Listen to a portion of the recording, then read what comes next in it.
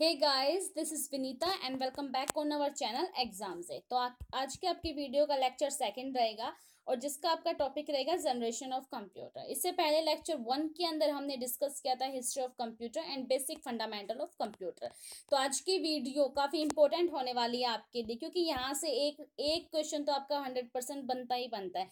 चाहे वह कोई भी एग्ज़ाम हो सीजीएल का आपका एग्ज़ाम हो या फिर एच एस एस सी का आर बी एन कोई भी आपका एग्ज़ाम हो, जहाँ पर कंप्यूटर के क्वेश्चन आते हैं, पूछे जाते हैं, वहाँ पर जनरेशन से और हिस्ट्री से एक क्वेश्चन तो ज़रूर बनता ही बनता है। तो अभी तक आपने अगर हमारे चैनल को सब्सक्राइब नहीं किया है तो सब्सक्राइब ज़रूर कीजिएगा और बेल आइकन को भी प्रेस कीजिएगा ताकि आने वाली न्यू वीडियो का नोटिफिकेशन आपको सबसे पहले मिले। तो देखिए, ये जो क्वेश्चन है आपका, ये जो मैंने आपके previous video history of computer का जो लेक्चर वन में करवाया था, ये उसका क्वेश्चन है, इसका आंसर बताते हैं। What is the first electronic computer जो कि मैंने आपको कहा था उस वीडियो में कमेंट करके आप ज़रूर बताएगा इसका आंसर क्या रहेगा। तो इसका आंसर रहेगा आपका option number D is correct यानी कि एनियक जो है, वो क्या है? इसका आंसर है ई एन आई ए सी एनियक एक ऐसा कंप्यूटर है जो पहला इलेक्ट्रॉनिक कंप्यूटर था। तो ये बात आपको याद रखनी है। अब आज की वीडियो हम स्टार्ट करते हैं। तो देखिएगा, सबसे पहले आता है कि जनरेशन ऑफ़ कंप्यूटर कितने टाइप की जनरेशन है अभी तक? अभी तक आपकी फाइव टाइप्स की जनरेशन है। और अभी फ़िलहाल कौन सी जनरेशन चल रही है? वो आपकी फिफ्थ जनरेशन चल रही है। तो देखिएगा फ़र्स्ट जनरेशन ऑफ़ कंप्यूटर का जो टाइम पीरियड था वो क्या था? 1946 से लेके 1959 था। अब इसमें बड़ा कंफ्यूजन रहता है। डेट में बहुत कंफ्यूजन रहता है कि कौन सी डेट किसी, मैंने काफ़ी बुक्स देखी हैं, काफ़ी मैंने गूगल पे भी सर्च किया, उसके बाद मैंने ये जो विकीपीडिया उसके अकॉर्डिंग मैं आपको डेट बता रही हूँ।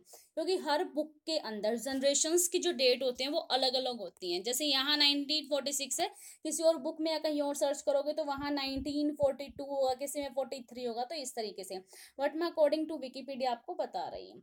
तो देखिएगा फ़र्स्ट जनरेशन ऑफ़ कंप्यूटर का जो टाइम पीरियड था, वो 1946 से लेकर 1959 तक था।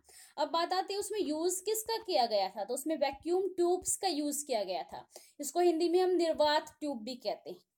तो ये बात आपको याद रखनी है। पूछ लिया जाएगा आपसे, क्वेश्चन इसी तरीके से ही बनता है कि फ़र्स्ट जनरेशन में कौन से कंपोनेंट का यूज़ किया गया था? तो आपका आंसर रहेगा वैक्यूम ट्यूब।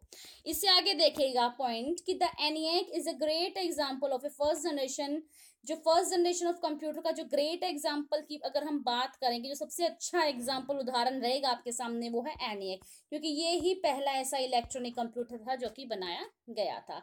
और इसके अंदर क्या थे? It consisted of nearly twenty thousand vacuum tube जो एनियक था आपका इलेक्ट्रॉनिक कंप्यूटर इसके अंदर ट्वेंटी थाउज़ेंड वैक्यूम ट्यूब थे। और वैक्यूम ट्यूब होते क्या थे? वैक्यूम ट्यूब साइज़ में बहुत ही ज़्यादा बड़े होते थे। इनको रखने के लिए कम से कम पूरा एक कमरा, बहुत बड़ा कमरा चाहिए होता था। स्टार्टिंग में इनको हीट करना पड़ता था, यानी गर्म करना पड़ता था। क्योंकि कोई भी मशीन जब गर्म होगी तभी तो वो चलेगी ना। और गर्म होने के बाद उसको ठंडा करना पड़ता था। और ठंडा करने के लिए, उसको ठंडा रखने के लिए क्या लगाए जाते थे? एयर कंडीशनर लगाए जाते थे, जो कि बहुत ही ज़्यादा महँगे पड़ते थे। ये इसका डिसएडवांटेज है। इसीलिए इसको रिप्लेस किया गया सेकेंड जनरेशन में ट्रांजिस्टर से। तो ये बात आपको याद रखनी है। ये देखेगा आपकी पाँच जनरेशन है। पहली जनरेशन आई, उसके बाद सेकेंड आई। तो एक बात सोचो, जो पहली जनरेशन है, उसमें कोई ना कोई कमी रही होगी होगी ना, तभी तो सेकंड आई है। अगर उसमें कमी नहीं होता तो अब तक वही चल रही होती। तो इस तरीके से आपको याद रखना है कि फ़र्स्ट जनरेशन में वैक्यूम ट्यूब्स आए थे। वैक्यूम ट्यूब्स क्या थे? साइज़ में बहुत ही ज़्यादा बड़े थे और कॉस्टली भी बहुत ज़्यादा थे। और वो सिर्फ़ वही चला सकते थे जिनके पास उनका कोड होता था या फिर जिनको ऑपरेट करना आता था। हर कोई उनको नहीं ऑपरेट कर सकता था। इसीलिए इसके डिसएडवांटेज है इसीलिए सेकेंड जनरेशन में इसको रिप्लेस किया गया। अब बात आती है एग्जाम्पल्स की। एग्जाम्पल्स अक्सर जो है आपके एग्ज़ाम से पूछ लिए जाते हैं। तो फ़र्स्ट जनरेशन का आपका एग्ज़ाम्पल रहेगा एडसेक एडसेक क्या है इसका? फ़र्स्ट जनरेशन का एग्ज़ाम्पल है एंड आईबीएम जो आईबीएम है इंटरनेशनल बिज़नेस मशीन इसका क्या है? फुल फॉर्म है। I B M seven zero one जो ये मशीन है, जो ये कंप्यूटर था, ये कब आया था? फ़र्स्ट जनरेशन में आया था। और इससे नेक्स्ट है, यहाँ पे मैनचेस्टर मार्क वन ये भी कब आया था आपका? फ़र्स्ट जनरेशन में। अब बात आती है स्टोरेज की, कि स्टोरेज कैपेसिटी किस, कितनी है इसकी और किस तरीके से हम इसको स्टोर करते थे। तो मैग्नेटिक डर्म के थ्रू जो ड्रम होता है मैग्नेटिक उसके थ्रू हम क्या करते थे? डेटा को स्टोर करते थे फ़र्स्ट जनरेशन के अंदर। और कौन सी लैंग्वेज का फ़र्स्ट जनरेशन में यूज़ किया जाता था? वो थी आपकी machine language and also assembly language ये दोनों की दोनों आपकी हाई लेवल लैंग्वेज है। ये क्या है? ये आसानी से अगर हम समझने की कोशिश करें, हमें इजीली समझ नहीं आएगी। ये सिर्फ़ कंप्यूटर की भाषा होती है जो कंप्यूटर ही समझ सकता है। तो ये काफ़ी बड़ा डिसएडवांटेज था इसका कि हाई लेवल लैंग्वेजेस का यहाँ पे यूज़ किया गया था, जो कि हम लोग आसानी से समझ नहीं पाते थे। तो ये थी आपकी फ़र्स्ट जनरेशन अब मैं आपको बताती हूँ यहाँ से क्वेश्चन किस तरीके से बनेंगे। एग्ज़ाम्स में आपका क्वेश्चन बनेगा कि फ़र्स्ट जनरेशन के अंदर कौन से कंपोनेंट का यूज़ किया जाता था?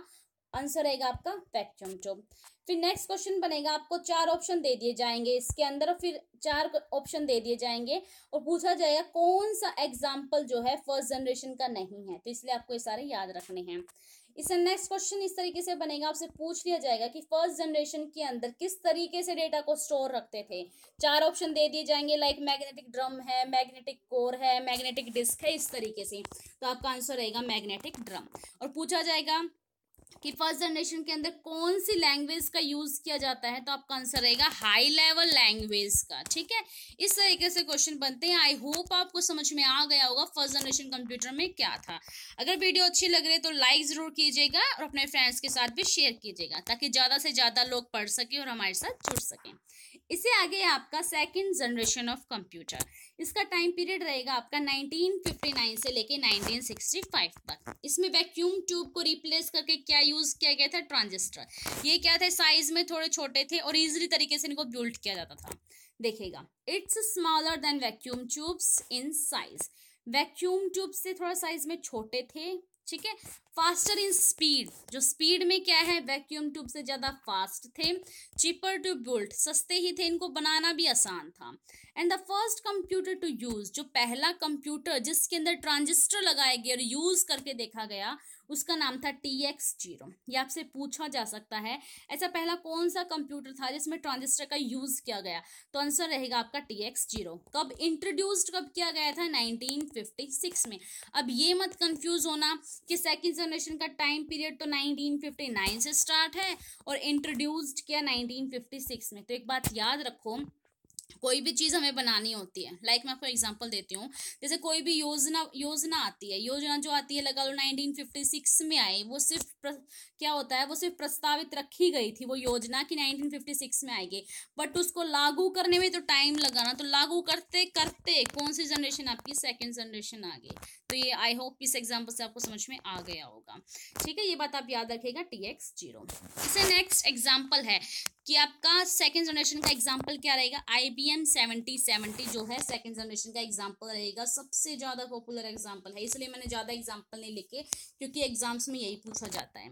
इससे आगे आता है स्टोरेज स्टोरेज किस तरीके से हम डेटा को स्टोर करके रखते हैं, वो आपका मैग्नेटिक कोर जैसे कि अभी मैंने आपको बताया था फ़र्स्ट जनरेशन के अंदर मैग्नेटिक ड्रम के थ्रू हम क्या कर रहे थे डेटा को स्टोर, एंड सेकंड जनरेशन के अंदर हम किसके थ्रू स्टोर करते हैं हम मैग्नेटिक कोर के थ्रू।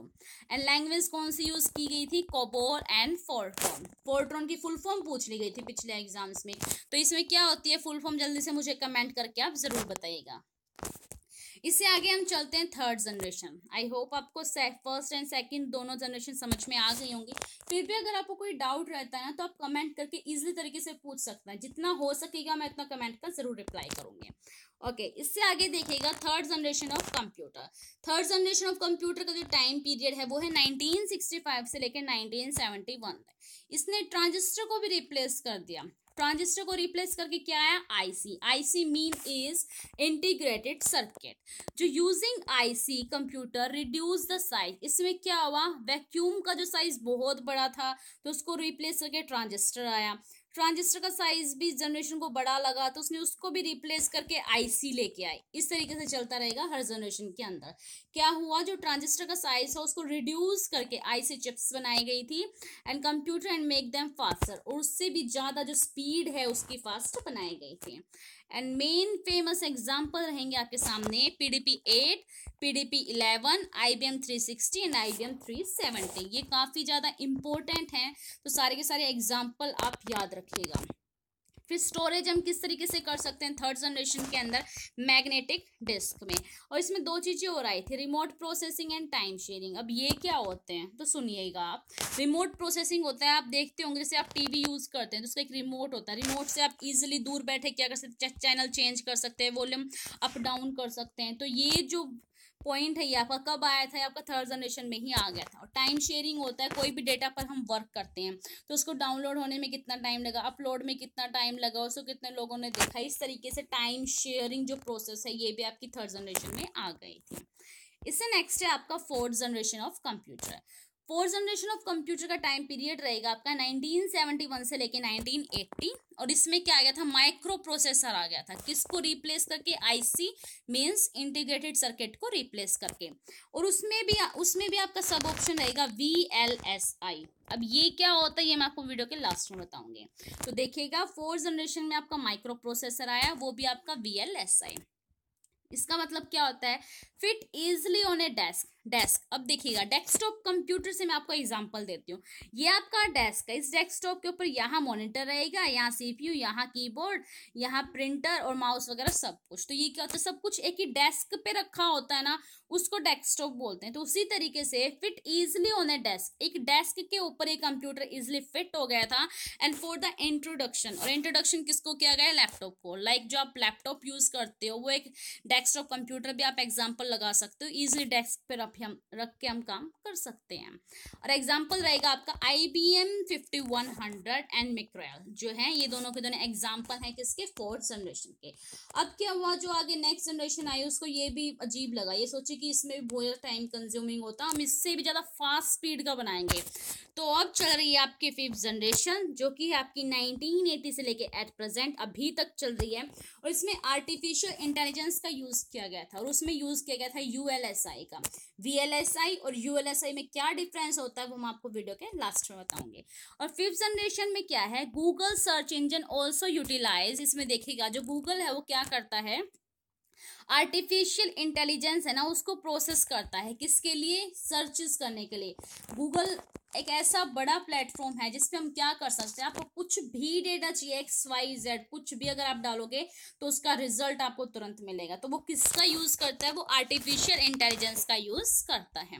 अब बात आती है एग्ज़ाम्पल की। तो फिफ्थ जनरेशन का एग्ज़ाम्पल क्या रहेगा? आई बी एम वॉटसन जो है फिफ्थ जनरेशन का एग्ज़ाम्पल रहेगा। एंड स्टोरेज किस तरीके से हम इसमें करते हैं? लाइक ऑप्टिकल डिस्क है और मैंने लिखे नहीं, इसमें आप लिख सकते हैं, हार्ड ड्राइव है आपकी, पेन ड्राइव है, इस तरीके से जो भी आप आज के टाइम में यूज़ करते हो, वो सारे के सारे आपके फिफ्थ जनरेशन की स्टोरेज हैं।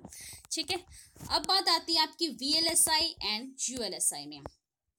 आई होप इससे पहले जो भी मैंने आपको फिफ्थ जनरेशन तक पढ़ाया है, सारे आपको क्लियर हो गए होंगे। एक एक पॉइंट मैंने आपको डिफाइन करके बताए। फिर भी कोई डाउट रहता है तो ईजिली आप बिल्कुल कमेंट में आप डाल दीजिएगा और आपको आंसर मिल जाएगा। और सारे डाउट आपके क्लियर हो जाएँगे। मन में आपका कोई भी डाउट नहीं रहना चाहिए, क्योंकि क्वेश्चन इसी से बनते हैं। क्वेश्चन सीधा नहीं पूछा जाएगा। लैंग्वेज को घुमा के पूछा जाएगा। आंसर उसका वही होता है। बट लैंग्वेज को घुमा के पूछा जाता है और हम कंफ्यूज हो जाते हैं कि पूछना क्या चाहता है। तो ऐसा नहीं होगा। इस वीडियो के बाद जो आपका थर्ड पार्ट आएगा, उसके अंदर अब तक के जितने भी क्वेश्चन आपके कंप्यूटर के पूछे जा चुके हैं प्रीवियस ईयर पेपर से, वो सारे के सारे मैं आपको समझाऊँगी। ठीक है? अब करते हैं वीएलएसआई वीएलएसआई की फुल फॉर्म ही पूछ ली जाती है अक्सर। तो फुल फॉर्म होती है इसकी वेरी लार्ज स्केल इंटीग्रेशन अब इसका मतलब क्या होता है? वो देखो। By combine of millions of MOS transistor into a single chip यानी कि एक सिंगल चिप के अंदर मिलियंस जो एमओएस हैं ट्रांजिस्टर वो सारे के सारे उसके अंदर ऐड होते हैं। और वो चिप यूज़ की जाती है किसमें? ये की, की गई थी आपकी फोर्थ जनरेशन में माइक्रो प्रोसेसर वीएलएसआई में। बट एक छोटी सी चिप थी। अब इसको रिप्लेस कर दिया यूएलएसआई ने जो कि फिफ्थ जनरेशन में यूज़ किया जाता है। And ULSI stands for ultra large scale integration और इसके अंदर क्या होता है? Embedding million of transistor on a single silicon semiconductor microchip अब देखो जो मैंने वी एल एस आई बताया ना वी एल एस आई उसमें तो क्या है? एक चिप यूज़ की जाती है और जो यूएलएसआई है उस पर फोकस करो। आप इसी वर्ड से समझ जाओगे माइक्रो चिप यानी चिप का भी छोटा हिस्सा। इतनी छोटी चिप होती है और इसके अंदर मिलियंस ऑफ़ ट्रांजिस्टर होते हैं और एक सिलिकॉन की बनी होती है। तो ये इसमें फ़र्क होता है कि वी एल एस आई के अंदर एक सिंगल चिप थी और उसको रिप्लेस कर दिया गया यू एल एस आई यानी कि अल्ट्रा लार्ज यानी कि बहुत ही छोटी चिप बना दी गई जिसको हम बोलते हैं माइक्रो चिप तो ये दोनों में डिफरेंस होता है। काम उनका वही होता है। मिलियंस ऑफ़ एमओएस ट्रांजिस्टर थे और इसके अंदर क्या थे आपके? मिलियंस ऑफ़ एम्बिडिंग देखिएगा। Millions of transistor single silicon semiconductor के माइक्रोचिप के अंदर था। आई होप ये वीडियो से आपको बहुत कुछ सीखने को मिला होगा। जो जो मैंने एक भी लाइन बोली है, वो सारे के सारे आपके लिए इम्पोर्टेंट है। अब तक हमने क्या पढ़ा है? हिस्ट्री ऑफ़ कंप्यूटर पढ़ा है और आज हमने पढ़ा है जनरेशन ऑफ़ कंप्यूटर दोनों वीडियो बहुत ज़्यादा इंपॉर्टेंट दो से तीन क्वेश्चन इन दोनों टॉपिक से ही बन जाएँगे। तो दोनों वीडियो को आप ज़रूर देखिएगा। पसंद आए तो लाइक ज़रूर कीजिएगा और आपके फ्रेंड्स के साथ भी शेयर कीजिएगा ताकि सबको इन वीडियो से प्रॉफिट हो। अब बात आती है आपकी क्वेश्चन ऑफ़ द डे की, कि आपको कमेंट करके कौन से क्वेश्चन का आंसर देना है। तो देखिएगा क्वेश्चन आपके सामने है which electronic components are use in first generation of computer अगर आपने वीडियो को ध्यान से सुना है, एक के अक्षर जो जो मैंने बोला, अगर आपने सिर्फ़ सुना भी है तो भी आप इसका इजिली आंसर दे सकते हो। पूछा गया है कि कौन सा इलेक्ट्रॉनिक कॉम्पोनेंट है जो कि फ़र्स्ट जनरेशन की कंप्यूटर के अंदर यूज़ किया जाता है। ऑप्शन स्क्रीन पे आपके सामने हैं तो जल्दी से कमेंट करके बताएगा कौन सा ऑप्शन इसका करेक्ट रहेगा। तो चलिए मिलते हैं हम नेक्स्ट वीडियो में, तब तक के लिए नमस्कार।